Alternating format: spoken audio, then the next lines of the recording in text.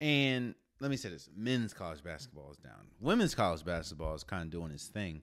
Uh, shouts out to UConn; they they look incredible. South Carolina, South Carolina still looks incredible.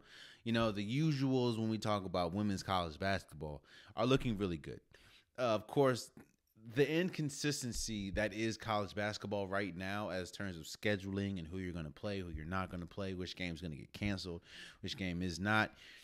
I understand, but moving back to the men's side, the one the the seating kind of you know the mock seating whatever came out last week, and the first the the top four or the the yeah top four regional number one seeds uh, they're not really you know we kind of knew who it would be, which was Gonzaga who was uh, overall number number one, Baylor, Michigan, and Ohio State while college basketball has been inconsistent, those four have been the most consistent. Even though Gonzaga, Gonz- to me, Gonzaga and Baylor in a class of their own, and then it's everyone else. So I was gonna, I'm I was gonna talk about what dark horses could upset them.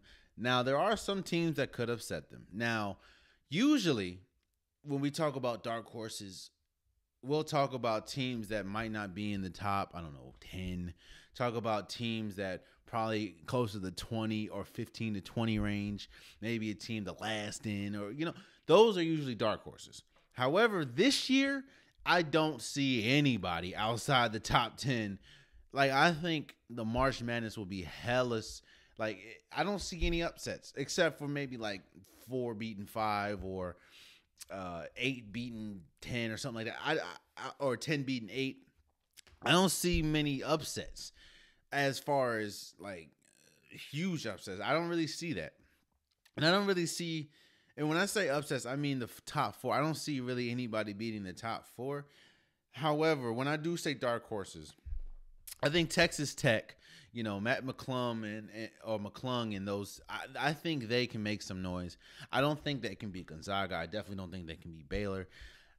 I think they can give Michigan and Ohio State a run, but I don't know. I think Texas, uh, Texas is incredible when it comes to shooting the ball.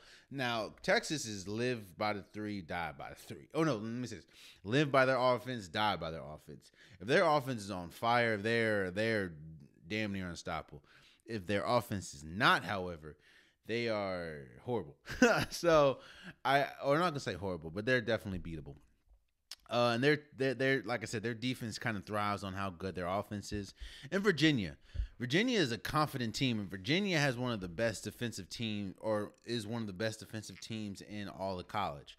Uh, now, of course, like like everyone else in the in college basketball, they have been a little turbulent as far as wins and losses. Just like what Villanova has kind of been turbulent as well. But I don't really see a dark horse this year.